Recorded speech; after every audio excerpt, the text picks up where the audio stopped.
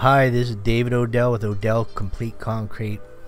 What I'm going to show today is how to replace a floor in your house. This particular floor here uh, buckled in the middle and for some unknown reason it uh, raised up about uh, two to three inches. It looked like a mini volcano in the middle of the room basically. So what I did here is I just started jackhammering out the floor right in the middle and uh, there's a jackhammer there working. As you can see uh, it's a little some areas a little thicker than others. What we're gonna do is here here's uh, clean up the edges really good to start with and then we're gonna uh, put some concrete glue around the edges. We're gonna also drill uh, some holes into the concrete about four to six inches deep. We're gonna slip some uh, 3 8 rebar in about every two feet all the way around this perimeter of the uh, old concrete and that will hold uh, the slabs uh, together from shifting. So it won't uh, you know, separate or go up or down around this seam. So here's what it looks like with the rebar in some of the broken concrete I saved because this is a little bit thicker than your average concrete. I'm about four and a half inches deep here so found some broken concrete that was about an inch inch inch and a half max pieces of broken concrete to put under the rebar and what we're going to do is pour the concrete back in through a pump. And now it's coming into uh, the house through